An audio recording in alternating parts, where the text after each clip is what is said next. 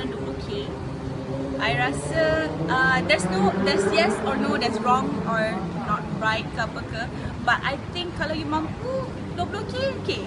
Go ahead with 20k tapi kalau you tak mampu nak kerah dapat 20k tu then that's a bit redundant lah. So it depends on you guys actually. Okay it's okay I think. Hai, so I nak cakap pasal yang kecoh sekarang ni, apa, hantaran 20k tu.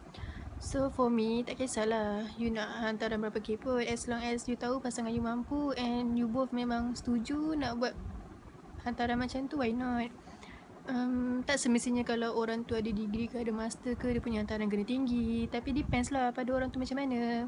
And orang lain pula tak payahlah kita nak judge orang tu nak letak hantaran tinggi ke rendah ke tak ada hantaran ke. Tu semua depends pada individu. So